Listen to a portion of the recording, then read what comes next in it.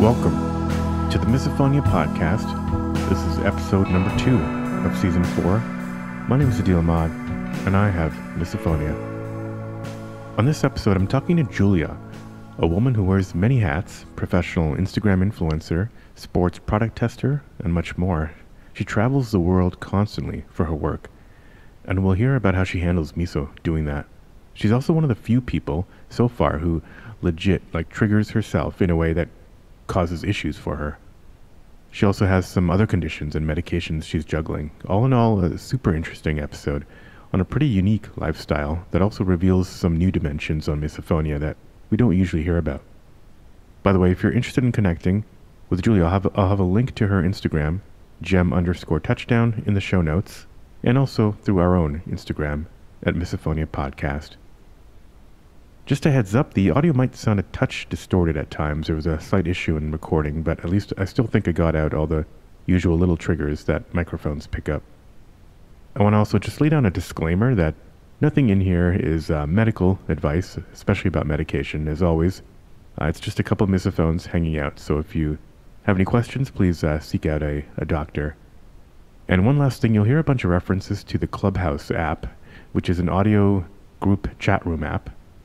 Uh, we've created a misophonia club on there, so and you can search for it in Clubhouse. We'll set up a group meeting soon, so if you're interested, just uh, search for it, click to join, uh, or ask an invite. Uh, ask for an invite, and we'll hook you up. All right, now let's get to this week's conversation with Julia. Julia, welcome to the podcast. Good to have you here. Thank you so much. Um, I'm really happy that you started this. So. Yeah, and I, well, actually, you know, where did we? Where did you find out about it? Was it on um, Clubhouse? Because I, I started following a bunch of people who mentioned misophonia, and then I think you were one of them. There are not a lot I of people. I think it was. Yeah, Yeah. I think it was Clubhouse, and um, there still isn't a misophonia group. I don't think because you have to host a few in order to start a group, but that's that would be great. Another thing, um, yeah, I'd just like to ask is, like, kind of like uh, where are people located? But uh, it seems like you're kind of all over the place. um, do you have like a home base, or kind of where whereabouts are you based? Yeah, so I ended up in Spain, um, in Madrid before the pandemic. And I wasn't sure if it was going to be a full time or temporary thing. But now that all this is happening, there's really, I don't want to make a big move right now. Yeah. Um, but I'm American with a French passport and a residency in Spain. So I've been able to travel quite a bit during the pandemic. So right now I'm in Madrid. I just got back um, yesterday. So I'm a little bit jet lagged, but Yeah, handling yeah. oh. it. So. Oh, I love Madrid. It's been a while, 20 years since I've been there, but that's cool. That's cool. Yeah, also a double crazy. passport person here, so it's good to be able to What are yours? escape. Well, nothing as exciting, just Canadian and American, but uh, at least. But Uh, Canada, Canada is the hardest one to enter these days. I hear.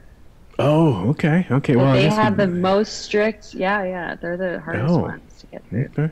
Maybe you want to say kind of kind of what you do for for work or kind of project wise or.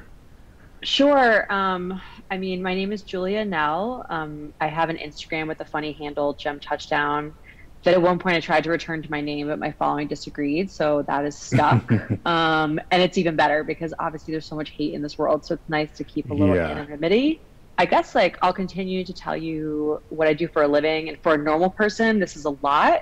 But for someone who has Sure. whose brain doesn't shut off because of misophonia, it's nothing. Like people with Right. misophonia, that's the issue is that our brains don't shut off. So we're constantly needing to do something. Yeah, so through the Instagram, I'm able to travel and I do um, travel, wellness, health influencing, and I have over 100,000 followers, mainly in the US, second France, third Brazil. Um, and I have the ability to travel, having multiple passports, as I said, and having the residency in Spain. That's a question that comes a lot, like as in this past year, is why I've been able to travel so much. And um, it's been a blessing because I get to go to all these destinations with no one there. And that's, you know, a trigger for me is tourists and crowds and having people around me. So it's been really nice to go to places that are empty and have no one around me at all. So that's been great. And then um, I'm also a product tester for sports, mainly ski, surf, and golf, with brands such as Nike, Lululemon, and Backcountry, who I'm sure you know. Um, but Yeah. I've also started to take a stance with sustainable brands on my own accord. So the newest one being OKO Living, who makes beautiful knit yoga mats. Um, really, it's a really nice product. And um, in Spain, I started a women's group called Arkwell.co. And each evening, we have a female entrepreneur speak of their business and the guests learn and also support by buying their products. And um, it's been a really beautiful experience. But I just sit back and watch and take photos because, as you will learn shortly, it's best that I just say nothing at all.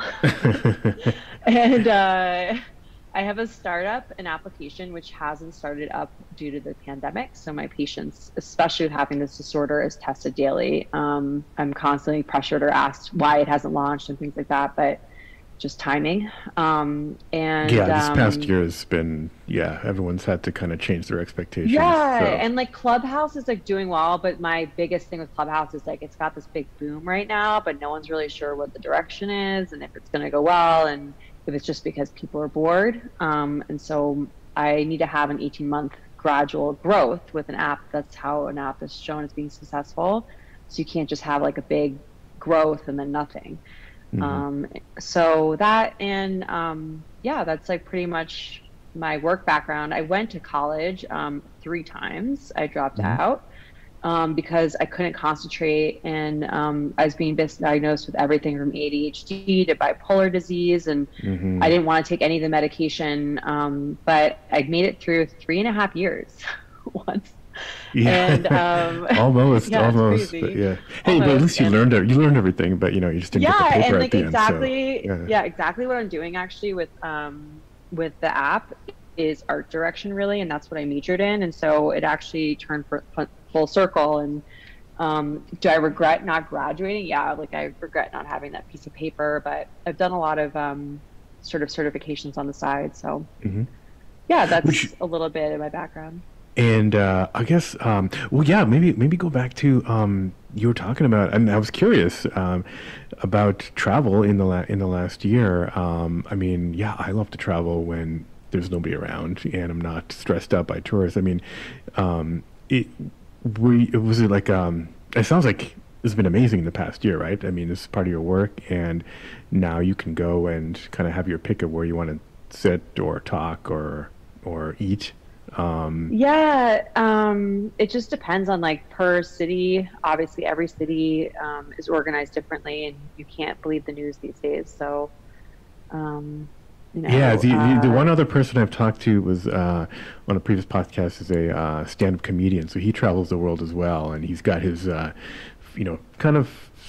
Uh, some countries have a have no um, concept of misophonia or even mental health, but others do. Um, I don't know. Do you, do you feel are, are there places that you feel like are a little bit more maybe sensitive to it, or or are, are there some places you fly into and you're like, oh shit, I have to, you know, I got to be careful of. Um, you know these areas or you know um, or the people here are just a little bit louder um, uh, well i think like obviously the vacation kind of places like i mean um, i was really fortunate right after i had i had covid twice the second time was in march um, everyone here in spain had it everyone in madrid oh and okay. um and so the second that i was able to leave here i went to greece i went to santorini which i'd never been to before and I experienced it in a way that no one else has. I mean, there was no one else there. They like mm. upgraded me to this insane honeymoon suite. I was just there by myself, my own pool, like 360 degree views.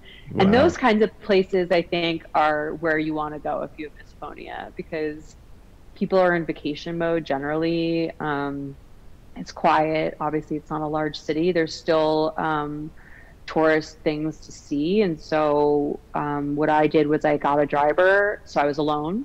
Mm-hmm. so I was not with a tour group, even if there were one, which I don't think there was at the time. And I did my own wine tour by myself. Like I went and saw oh, some sites yeah. by myself, and um, that kind of you know that's definitely a luxury that like a lot of people don't get to have. But at that time, they were so desperate for any tourism that you know yeah um, I was able to get it. So I would say that, and you know, I mean, I am definitely one of those people who will like go into a museum if someone's being loud, like I'll tell them that they're, mm-hmm, they're mm-hmm, talking. Mm-hmm. Um, and uh, so I would like to say that museums are a great place for people with misophonia because they do tend to be quieter. But you know, there's that one person, and that's Who's really think, coughing? ticks, Yeah. yeah, who Exactly. like ticks us off. It's like Yeah. in the crowd of a street, I'm not so bothered. It's when it's quiet and you hear that one person making a noise or like even their laughter, unfortunately, um, is a trigger for me. And I um, don't have the ability to not express myself. So I express myself um, as kindly as I can. Um, you know, like we're in a museum and it's a place to be quiet and enjoy the art, or however I decide to address the person.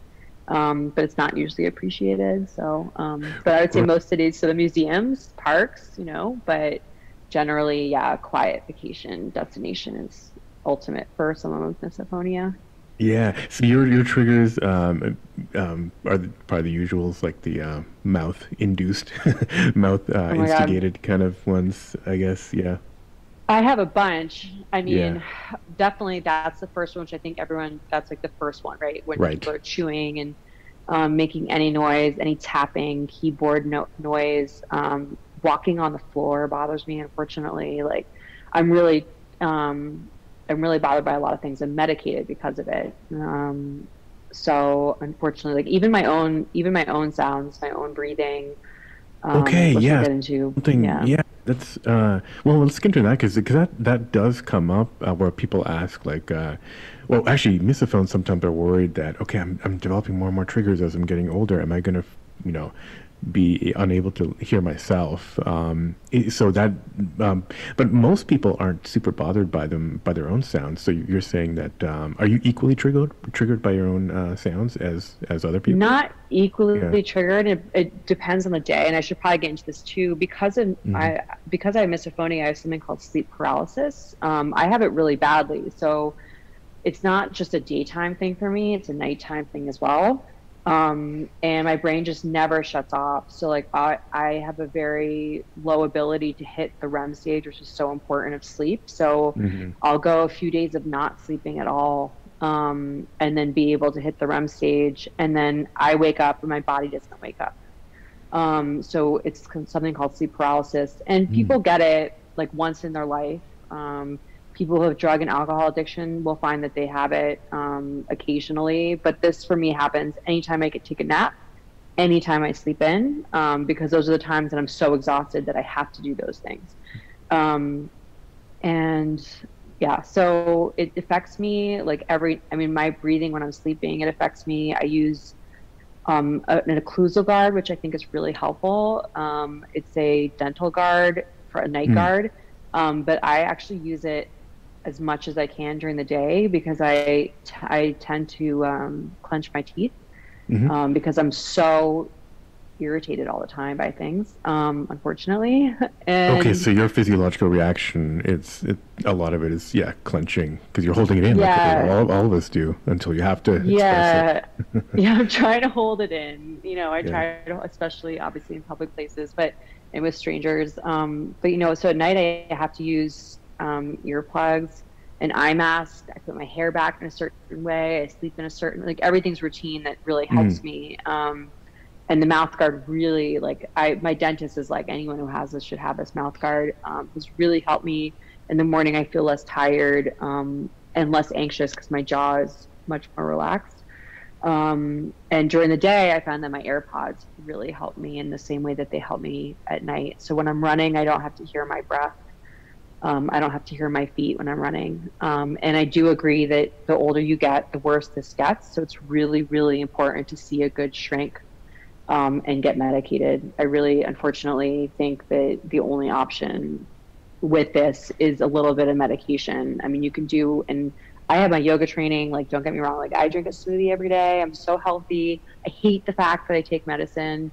Um, I don't take it every day, um, but I have to in order for myself to be a normal person and get regular sleep. So I'm not even more irritated. And um, and I think basically in the morning when uh, if I, my routine goes off, you know, I usually wake up in the morning. I drink a glass of water. I go for my run. I feed my dog. I run the shower. I drink drink a smoothie in that order. And if any of that is out of order, then I know that I have to take this medication. So I take a quarter of what I'm prescribed, and that does it for me. Um, there's some days where I have to share workspace. Forget it. Like that, I know I have oh, to take yeah, something. Yeah. so even if someone's working for me, like I just don't want to be, I don't want to be a, a jerk. So I'm just, you know, so I preemptively take it. And then at night, I'm prescribed Klonopin. I take a really the smallest dose, and I'm really lucky this week actually to have jet lag because this week I haven't needed to take it, and it's mm-hmm. a very addictive medication. So if you have an addictive personality, um, you should make sure to tell your doctor this because you should not take this med- medication if you do. Um, so this week I don't have to take it, which is great, and eventually I'll have to start taking it again. And you basically build up a tolerance to it. So you start with half a pill and it goes to a pill and then you know one and a half pills two pills and then at that point you really want to you know go back down to zero for a couple days and try to you know get through it on your own um, well that's just what i suggest but yeah, no, that's that's interesting because yeah, you, you you hit upon a couple things there. Like you try to reduce your stress as much as possible. You get that routine going because uh, for a lot of us, it's like just being able to control or knowing that we have control over our environment can is a is a big part of like, um, uh, you know, not flying off the handle so much. Um, so those are those are great things. And then then yeah, that's that's interesting. And then then I guess once you have those down, you can decide how much medication or it, yeah, you know, what do you want to yeah. do like medication. I was doing everything I could, and it got yeah. to the point that, and I I see a therapist. Um,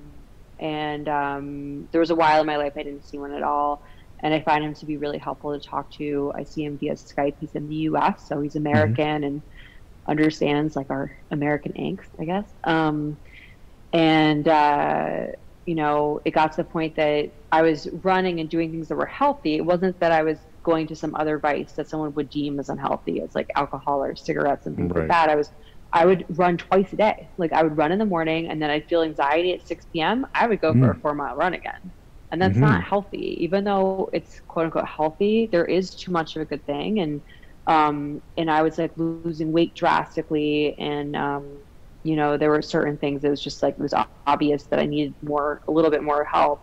Um, but again, as I said, this is like something that a doctor should advise you, and also. Um, again, there's so many different medications. I went through a few months of trying every type of medication for sorts of anxiety disorders that you could try or seizure disorders. Um, and some of them made me depressed. Some of them made me more anxious. Some of them made mm-hmm. me more irritable. So every single person is so different that, you know, right. I couldn't diagnose someone. So, and then the, the therapist is different than, than your, the shrink would be, would be the one prescribing the medication, right? Yeah. Um, the therapist is who you talk to and he thinks I'm a, I'm a delight because I always have these like fabulous stories of, you know, being, you know, just like ridiculously irritated with yeah. absolutely nothing. Right. Um, so, but yeah, he's great. So. Did did both of them? Um, did um, did ever, did everyone know about misophonia in advance, or was this yes, something that yeah. you had to tell people? Okay, okay. No, no that... they absolutely knew. Um, and the the shrink I have here is from Germany. She's a woman, and she knew about it, and um, she knew right away that I had it too, because, or she knew that I had some sort of obsessive compulsive on the spectrum something yeah. because of the way I was looking around her room, I guess, or something she was saying. Um, so she had to work with my therapist because like I picked her up much later on than my therapist and I just wanted them to discuss to make sure I wasn't explaining things the wrong way. I'm not a doctor. Um, right. and he is very knowledgeable about the subject. So Oh, um, was that something that you looked for, or was it like like coincidence? No, no, no, like, okay. not at all, not at all. Um, yeah, no, not all. He's actually his base is actually a sex therapist, and that's not all, at all why I was seeing him either. He just came as a recommendation from a friend some years ago, and mm-hmm. um, and he does. I think his therapy works for me because the kind of therapy he offers is uh, more assignment based. Like this mm. week, make a list this way versus this way, and for someone whose mind doesn't stop working, it it helps. It's not really it's not much of an emotional thing. I haven't cried yet or anything. Um, right. I'm really looking forward to that, but um, it's more pragmatic, I'd say. So yeah, yeah, interesting. Yeah, and it goes back to like getting routines, having control over your environment. Um, mm-hmm. um, so I guess maybe um, maybe let, yeah, let's go back to kind of like when you kind of remember this all maybe starting for you. Um, uh, was how, how how far back do you remember? Um, being triggered? Um, yeah, I know that was like a question that you'd asked um, on the questionnaire. I I'd say my earliest memories were I mean, I still have friends from the age of three, which is amazing. And mm. I definitely was somewhat of like the class clown, I'd say, because I would say things that were really direct. Um, and then kind of have to laugh it off, you know, because you're definitely being a jerk. Like definitely. But you're like, oh, I went too far. I better, I better laugh it off and lighten. Yeah, and so everyone would laugh with you. But yeah, I was never. Yeah. I was. It wasn't like I wasn't like this typical American high school bully. I went to like an all girls school, and um, and I guess there could have been bullies there as well. But luckily, we had like a really good small school setting. Um, so I was friends with like everyone with every type of background. It wasn't like that, but but uh, I remember those kinds of things, like just I remember saying these things and I remember being scolded. I remember the first time I was scolded was by my father. Um, he had an artist friend who had an eye that wasn't going the right direction or something. Mm-hmm. And I just remember saying something because the non perfectionism of his face or something really. I was very young. I mean, I was like six or seven. I this wasn't like I was a teenager, like having an outburst at somebody's deformity. Right. But I remember like being pulled into the kitchen and being told that I couldn't talk this way to people and like and the like from then on forward I knew really what I was saying and doing was wrong. Like as in like it wasn't the socio norm, but I couldn't help myself. Um, and it wasn't like, oh, haha, like your face looks like this. It would just be like asking questions about it or mm-hmm. and like crazy curiosity, I guess. Um, like unnecessary. Like you can't take me to a cocktail party even now if I don't know anyone. um, it's a disaster. So right, yeah. right.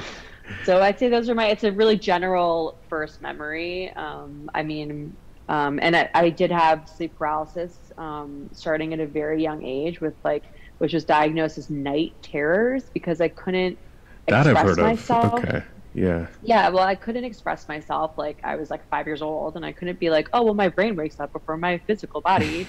like, I mean, some five year olds talk like that, but not yeah. me. I wasn't like the brightest five year old, and uh, so I think I was just like, I feel like I can't move or whatever. I don't know what I said, and this is not like in the last five or ten years, so.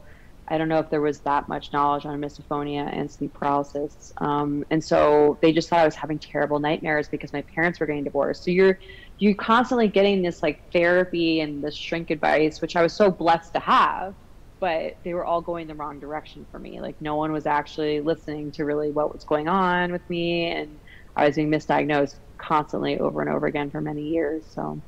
Yeah. So yeah, it seems like a lot, a lot of things were, were kind of going on there. Um, and uh, and and then when it's kind of maybe sounds come in the picture, or was that always kind of part of the part of the thing going back to almost age three?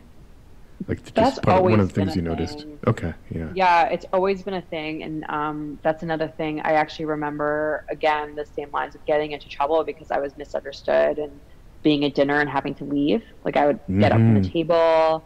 Um, I would like throw a fork on the table. Like I don't nothing like I wasn't violent towards others, but you know, I was aggressive and I would have to leave the table because I couldn't deal with someone making noise or I always thought that someone was chew- chewing with their, their, mouth open or yeah. their mouth full. And, um, and I do think that I actually was bothered by my own sound even then a little bit, yeah. but, um, but yeah, that's what I remember. Was there, was there specific people that maybe triggered you more than others? A lot of people find their, either their mom or their dad or, or or you know a, a, a, grandparent maybe is kind of the initial trigger or trigger and then it kind of grows from there. Or was it i don't know. Like yeah. i think i actually think that my dad has it. So that's not uncommon um, either. Yeah yeah. Yeah i mean yeah i think a lot of things are like genetically predisposed well hard to say pre predisposition or something like that yeah, I, we, yeah we, we get it yeah. It's fine yeah, yeah. all right so um now i want to now i'm stuck on that word but but my, I guess my mother maybe a little bit, but for mm-hmm. me, it's really strangers. It's like anyone I don't know. It's not possible for us to eat sitting next to each other, even today. Yeah. Um, it's not even um, even having a serious relationship with somebody. It's not possible for them to be typing their computer at the same time as me, or I can't do it. I just can't do it. And um, right. so it's not something that's like. It's really been like that for my whole life. Yeah. Um, And then when did you find out that uh, uh, you know obviously uh, other things have uh, have kind of more um, more no I have had you know more awareness earlier on. When did you find out about misophonia? Like when did you hear that it, it was a thing, had a name? Um, only in the last five years. Um, and I only was 100% sure I had it when my therapist was like, you have it. Oh, okay. Yeah. because yeah. I'd been diagnosed so much with so many different things and everything sort of made sense, but none of the medication made any sense. And um, once you're properly diagnosed with whatever it is that you might, whatever disorder you might have, it's amazing how much um, help you can get. Um, and so I kind of ignored it for many years because I was like, I don't have ADHD. Like, I'm able to accomplish a zillion things. So I don't have ADHD. Like, I don't have mood swings. It's just a constantly like this. So it's not bipolar. right, right, right. Hey, yeah, hey, awesome. No mood swings. It's just constant. It's a hundred 11, disorder. yeah, Yeah. Yeah, yeah, yeah. So, 11 on the Yeah. dial. Um, okay, yeah. So, and so, what are um, what are some yeah what are some of the things that uh, your your therapist anything like specifically misophonia related that that uh, that he's kind of uh, worked with you on? um, I I mean, there's not there's no cure, so it's just like all the usual, no, you know. I just have to think about it. I think um, I think we were sort of talking about it in relationship wise terms about how hard I am on people. Mm-hmm. Um, and it takes like a really strong person to be around someone like us um, because they have to understand that it's not about them. Um, and Yeah. this sounds like the most selfish disorder ever. like, yeah, like I can be a jerk and like be irritated by everything, but you can't be irritated by my my irritations. or like I need right. to be organized the way that I am organized. Otherwise, this just won't work. There really is, unfortunately, in my case, I feel no way around it. Um, like if someone enters my house, the things have to go this way.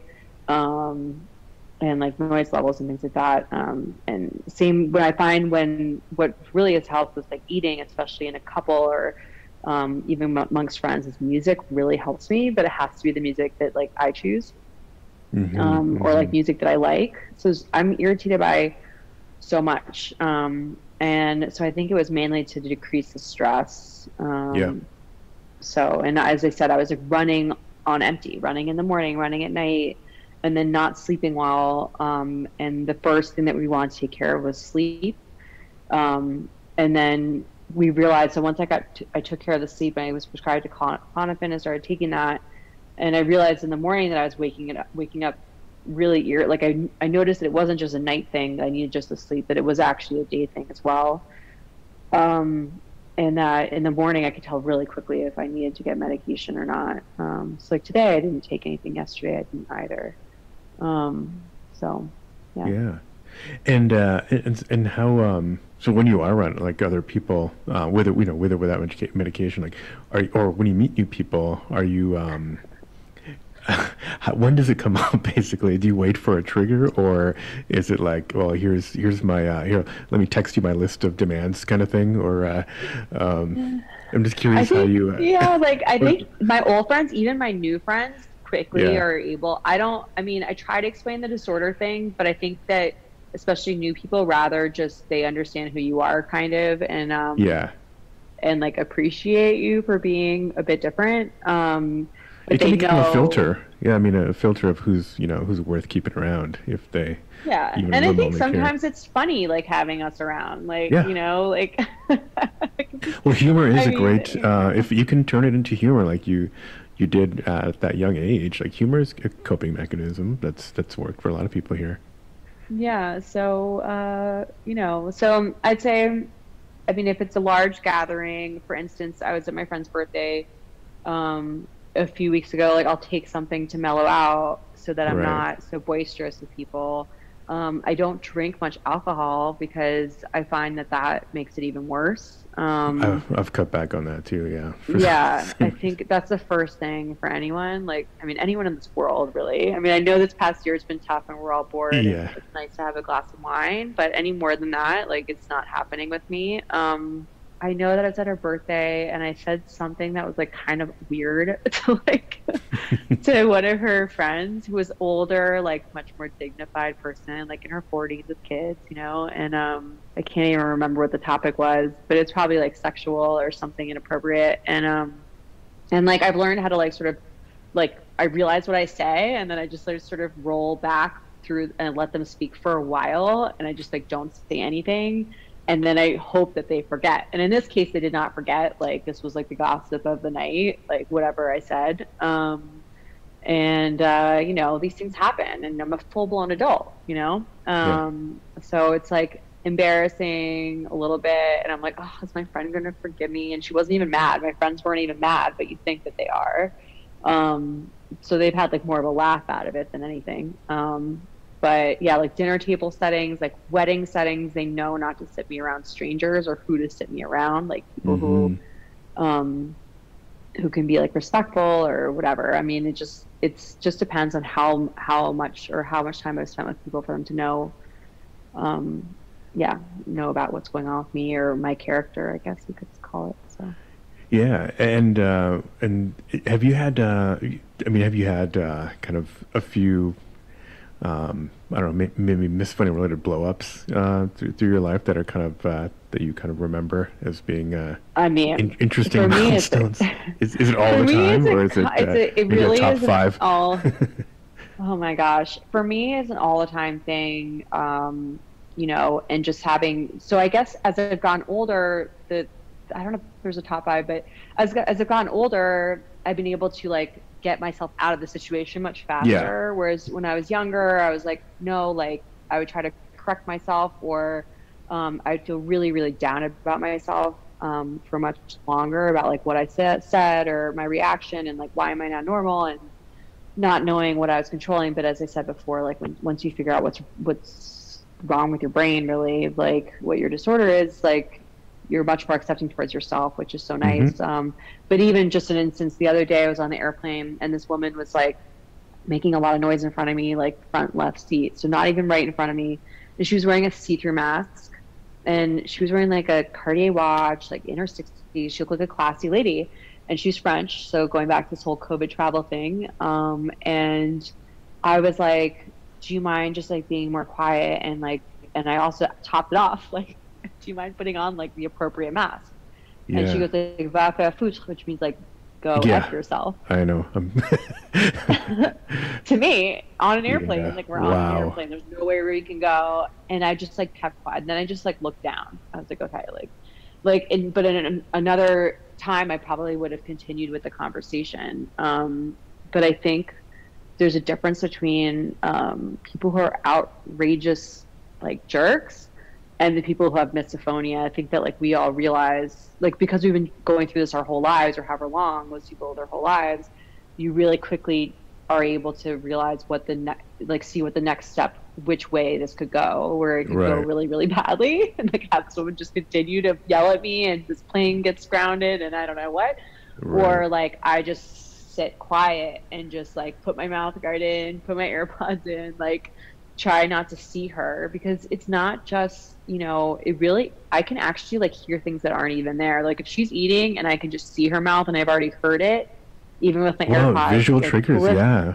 Yeah a lot of us have that. I feel it you know i feel her eating. And um so yeah so no this is a constant thing for me. And um and as someone you were saying asked if it gets worse as you get older i think it does. And i think this year did not help anything. Um I think like circling around in our apartments and um, I mean, it depends where you are, but yeah, I think that as we get older, we get, you know, we know what we want in general, just as a normal human being, even without a disorder. We know yeah. what we want. We have our lives more organized. So it's like when things are out of order, even the older than we get, the more control we have, you know, the more financial stability you have, all that gives you more control of your life um, the more the, the, the less these things are acceptable, you know, more and more so. So right, the less they're acceptable, right? Yeah, because it's like, uh, yeah, it's it's yeah, it's really interesting how that uh, that balance shifts as you get older. You can get out of situation, but um, the fact that something goes wrong when you do have more control makes it somehow worse. I guess. Yeah. Um, no. Um, Did you and and and growing up? So, um, it, it, do you do you feel like uh, I I know I realize you have a lot of stuff. You had a lot of stuff going on, but uh, has misophonia maybe in particular like caused um, maybe damaged like family relationships at all, or caused more distance? You feel than than Oh, 100%, would have otherwise? Yeah, yeah, Yeah, because there's a lot of times where you could have been quiet, you know, and never like, and also, I, I mean, it makes you you're stubborn about it because there's really, as I just said, and I mean, uh, it sounds, it does sound crazy that I'm saying this, that for me there really is no, um, there's no way around it. This is something that I have to live with for the rest of my life. Um, it's not something that just like goes away. That's why when I said it's really important to get your diagnosis because like bipolar disorder, it's like sometimes you might be like this, or sometimes you might this is for me every minute of my day. Like it, I could be triggered. Like even with the healthiest morning that I'm having, um, and especially I expect so much more from those around me, and that being my family, um, my loved ones. Um, you know, I expect that they would understand, be more understanding and things like that. So yeah, um, definitely. Um, I've taken time. I guess part of it too is like I find this a great platform having a podcast that you have because um, I also don't like socializing much, and that includes family as well. Like I can only take so much of Yeah. being around people. It's exhausting, um, and I know that's a, that's a case for a lot of people and families, but even more so for us. Um, and so I do take breaks. Um, I live very far away from my family. um, and people in Spain are very relaxed. So this is actually, I would definitely say that Madrid is a great place for people with misophonia because like no one's up to anything. It's very slow paced. Um, you got that afternoon siesta. I think it's what it, what it, what it's called. yeah, right? you have the can- siesta. yeah. Oh, people do it. I can't do. I can't. can't I haven't Right, gotten to that the point sleep. yet. Yeah, yeah. But like, you know, if you get up at eight in the morning, like that's crazy early here. Like, like you're supposed to Right. get up at ten. You're supposed to have lunch at two. Everything's two hours later. Yeah, Um, right. So Bus at midnight, and yeah. mhm. Yeah. So if you have misophonia and you have to have your routine in the morning, like I do, like you get that done, and then everyone else wakes up, and no one here exercise, or not no one, but most people here don't exercise like Americans or Canadians do, or um, I don't know somewhere else. But um, so by the time they're waking up and going to work, like you, you're energized, and you're, you know, your day is going to be off to a good start. Um, so yeah, and I don't have the drinking habit, so unfortunately my nights are not the late Spanish nights Right. but I would definitely say this place is great. And plus, it's got a really a much older generation that lives here, so they're all like much quieter and gentler. And yeah, Right. And how did you um and did we talk about did did you sit down with your family and tell them about misophonia? Like I, I'm curious how their reaction was and uh and you know what happens around the holidays like Christmas or Thanksgiving. Oh man, well. Uh, my maybe. family is a family full of disorders. Um, so like we all have very different personalities, except that I really think that we all share some form of um, I know all of us actually. I'd say like half of us share this. I have one sister who's extremely sensitive. And so like with her it's great because she's very quiet speaking she actually has like a whole wellness kind of podcast. Um, we're very different personalities. Um, and um, so I'd say that I think that I just told my dad in the kitchen or something and Mhm. my um, stepmother was around and she was saying that she has it when he eats an apple. And i was like no no no. Like it's not. You- like you can be annoyed when someone eats an apple once in a while but this is like, like every little sound.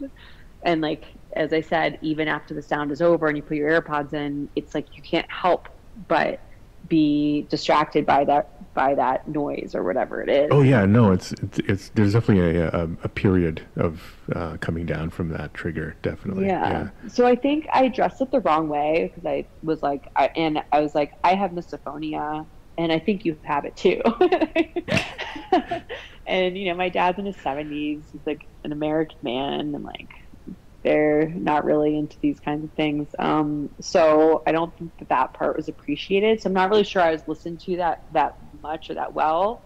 Yeah. Um, but it's funny because like he stomps around and he'll like slam a door and like do these things Mm. that you know I don't stomp around. I mean, I'll definitely have a reaction, maybe like slamming a door, but I don't have a door to slam luckily in my apartment. But um, but you know these kinds of things. And i'm like this is exactly like what i'm doing. So like it'd be nice um you know maybe you should just like tell your therapist this or whatever. I'm just trying right. to help you out you know? My mother um i told her and i don't you know i think that she agrees. Like, i think she's happy that i have a diagnosis and that you know that i've been able to help it with doctors and things like that.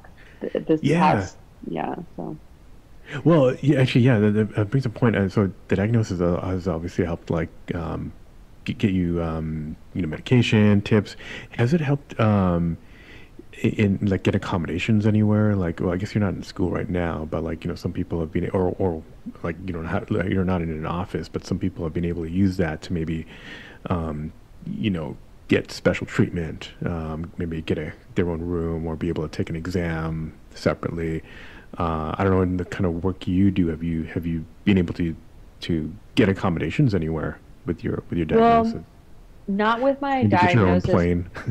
but yeah, that would be awesome. Um, not with my diagnosis. Like I don't say, oh, I have this and this and this. Yeah. Um, but I have a dog. I have, and she's actually um, she's a service dog. She's not an emotional service animal. Uh, so an ah. ESA would be more appropriate for misophonia. But because I have my sleep disorder, which is considered a seizure disorder, I'm able to have a service dog. And so um, I trained with her when she was a baby, and she travels with me on airplanes. It's amazing. Um, she's like the best behaved dog. Um, mm. So I have her. I don't have to explain myself, which is great.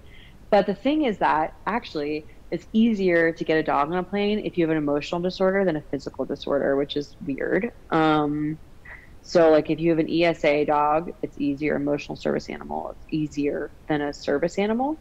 Um, that's one thing. And the other thing too is like when you go to a hotel, you can definitely like, you know, I I just think that like being polite is the is the number one way to go. So usually, actually, even before I go to a hotel, I'll write them and I'll say like, hey, like you know, I'll even make up a story rather than telling them that I have a disorder, which I've never even thought about telling them that I have this. Um, because I'm in Europe right now and I don't know I don't know how forward thinking some places are. Um, I've heard some know? of them are not. so I'll just yeah, yes, yeah. So, but but I think if you write them a polite letter before you get there and just say like, even if you're making it up, but I have not been making it up, just being like, I've been working really really hard and like this is the only vacation I'm going to be able to take, or or like for me, a lot of the the hotel stays I get are through influence work, so I don't have to pay to stay. Um, I'll just request to not be near a room with children or something like that. I mean, I can stay up all night if I hear a noise. So yeah, that ruins my entire trip. Um, you know, no, so I mean, that, you have legit, you have legit, yeah, legit reasons other than yeah, even other than misophonia. So uh, that's that's interesting. Yeah, yeah I, had, I hadn't heard I hadn't heard of anyone doing the uh, writing a letter or calling in in advance and uh, just asking for for any kind of because uh, yeah usually you know I think usually they will try to accommodate if they can. So that's uh, of course that's like why wouldn't they want yeah, you to exactly. have a good time? You know it's just like being polite like being extra nice and like yeah. being clear. I think that goes with anything in life. Well I guess we're uh, coming up to coming up to an hour. Um, maybe we should uh, start start to wind down but I'm, I'm curious um, um, after after this after this um, call, we can maybe try to set up a clubhouse meeting or something later. Maybe For we'll sure. email. For sure. But um, but is there you know is there anything kind of anything you want to you want to tell folks um, maybe uh, internationally or or or or or, or, or here uh, just about um, oh, and uh, advocacy or, or or just tips in general. I mean, I guess one is um, it really, as I said, it really helps if you think you have this or something else to see a good doctor and make sure that you're you're diagnosed yeah. correctly with whatever it is because there's 1 billion medications out there. There's a treatment for everybody. Every single person on this planet is different. So again, like it's really important that you are given a course just for you. Um, and staying on a routine is like I would say my my number one tip is staying on a routine. Um, and uh, yeah, I mean, I don't know about ad- advocacy. I don't know. I mean, I, again, like I never even thought about telling a hotel that I had a disorder um, because they yeah, probably would have arrived and they would have thought like, oh, well, where's this invisible? You know, in France, it's like you can't have a dog unless you're blind or deaf. So I have walked through a park wearing sunglasses before, you know, not fully right. just thinking that maybe if I get stopped, maybe I can get away with this, you know. But then you have to, Right. you know, and I've had this happen. So not with misophonia, but with my sleep disorder, where I've had to explain to a to a French policeman about my sleep disorder and be like, I actually have seizures and at night, and Yeah. um, we're like, this is a seizure disorder or whatever it is, and then Yeah. they're understanding. But that takes, you know, at least a good ten minutes of compassionately expressing this to somebody right. um, so it's unfortunate that like we have to take our time to do that um, but you know obviously the more that we inform others the more people will become more aware of this um, and this isn't like the worst obviously there's so many worse things that could be going on with Right. you or Right. you know this this isn't something that like is something that can be fixed um, but there's ways to make it better for like your everyday living you know Yeah, that's interesting for advocacy. So, uh, um, a few of us are talking about um, putting together like um, training or seminars for like HR to be like, you know, here, here's, you know, here's how you should maybe design your work environment or design some like, um, you know, policies at work to make it easier for, for your employees who might have misophonia. But I, I had not thought about the hospitality um, industry. I think that would be super, you know, maybe have uh, something that they can throw into a page of their whatever their the guest book in their um, in each room, or just kind of train people to like uh, look out for this. Um, I mean, it's called Kind of- respect in my Yes. eyes, Oh, uh, you know, which yeah. I feel Well, like I everyone is lacking. It's crazy. yeah, yeah. Crazy No, no. I, world. to all of us, it definitely definitely should just be that simple. But but Yeah. uh, the the the rest of the world uh, will is is slowly coming around. Hopefully. I think But, like uh, there's a couple of Asian countries that are respectful, and the rest of us are just like I just yeah the chewing with the mouth open. The I mean, even I mean I know in Japan it's illegal to walk and eat your food at the same time, and obviously that doesn't Wait, really did you say sense. it's it's illegal to walk and eat your food? Yeah. Um, Oh. Which is makes sense, sort of like one Yeah. they want to put their business in the restaurant. I mean, right now things are different, right? Because of the pandemic. So there's some cities like in Paris where you could take out your food and then you can't sit in the restaurant. So you have to walk and eat your food or you have to sit in the park. Mm. But um but those kinds of things like where like you should only eat where you're supposed to be eating. You know, like you shouldn't be eating at a desk. There should be an area where everyone has to go eat and that should be instilled for work environments for it's just anyways, Yeah. I mean, I think now it must be sort of pushed because you don't want someone with their mask off you know, spitting their food Right. everywhere all over the computer. It was just gross. So, Right. right. um, so I think for I think that I don't think these are hard things to instill. Really, um, you know, I think I guess as a boss to notice who has a twitch or not, and like put them away from the people who have misophonia. like, Right. You know, tapping of the foot, the pen, the chewing of the pen, the you know. Well, if yeah, and, and if bosses want to want to bring their employees back from work from home, I think they're gonna need to like step it up a bit at work and and uh, accommodate accommodate some of these some of these issues. So, um, I mean, we're talking about a TV show here. I mean, I think it would be hilarious. Julia, for I mean, I want to say thanks thanks for coming on and, sh- and sharing your story. A lot a lot of interesting things here, and um, yeah, hopefully we can have a. Um, get the get the clubhouse um, audience listening in as well. Maybe we'll find some people we can help. Yeah, thank you so much for hosting this, and I'm sorry if it wasn't like super entertaining. This is a No, this um, is this is but day to day, I think it's pretty, uh, pretty entertaining for me sometimes. Thank you, Julia. Hope you're still healthy and doing great in Madrid. Remember, I've got a link to gem underscore touchdown on Instagram and um, in the show notes here. If you're enjoying the shows, don't forget to leave a little review. You can hit the five stars on Apple Podcasts or anywhere. Music, as always, is by Moby. And until next week, wishing you peace and quiet.